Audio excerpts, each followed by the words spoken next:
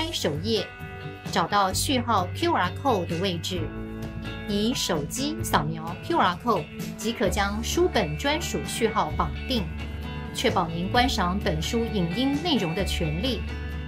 当你要阅读纸本书的动态示范时，只要找到课程单元下方的 QR code，用手机轻轻一照，立刻为你播出教学影片，一步一步带领你做出完美的种子盆栽。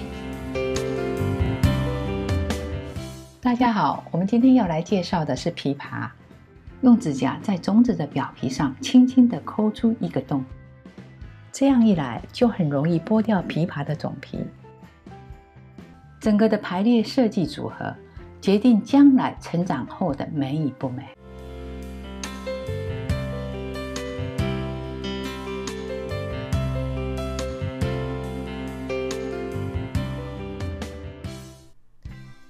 Hello, everyone. The plant design today is the yolk fruit. Here's a sample of the yolk fruit. From this angle, it looks like a penguin. This is when we know it is ready to plant. When the roots have sprouted, be careful not to harm them.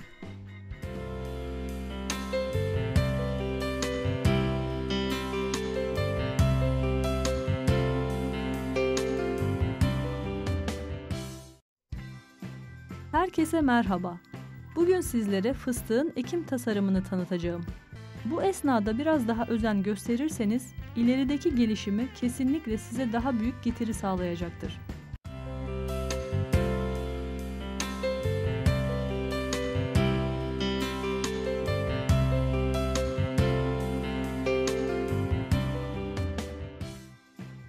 Konnichiwa. 今日は福木の種の鉢植えデザインです。 鉢植えデザインをする際、芽を容器の外側に向けるよう並べます。爆飯石を使用しているので水を加えます「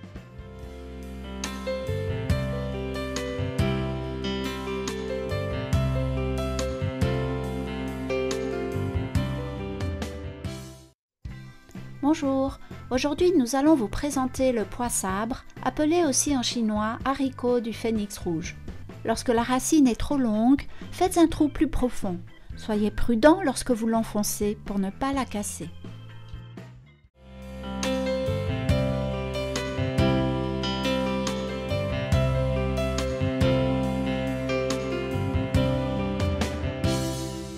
《مرحبا بكم سنقوم اليوم بعمل تصميما لنبتة الساندي يجب وضع الجذور باتجاه الأسفل دائما حول حافة الوعاء أبدأ من الحافة الخارجية ثم أنتقل للداخل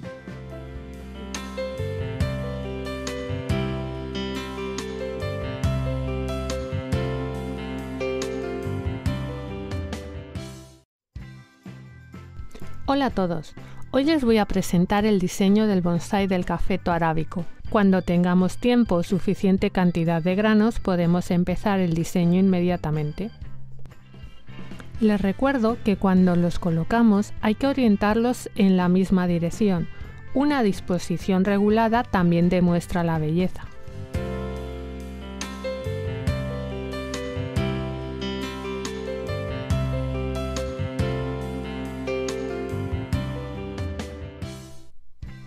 安녕하세요오늘소개할것은마노구슬의분재디자인이에요 마노구슬의 성장 속도는 아주 빠르고씨를꺼내기도 쉬워요 그리고 디자인까지 간단해요 시간이 있으면 꼭 해보세요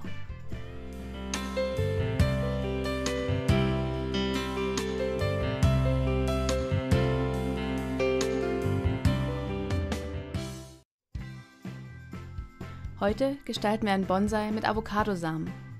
Ich habe die Avocado vorab mittig durchgeschnitten. Beim Aufschneiden unbedingt vorsichtig sein. Betrachten wir einmal die Schönheit des Samens nach Entfernung der Haut. Heute zeige ich Ihnen, wie Sie gemäß der Menge Ihrer Samen Ihr Design anpassen können.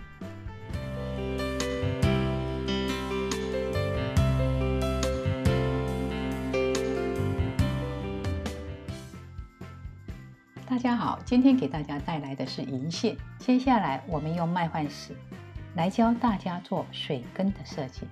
由于根系都有一定的长度了，我们若直接插入，根系很容易断掉。最后，我们来欣赏银杏种子盆栽不同阶段成长的美。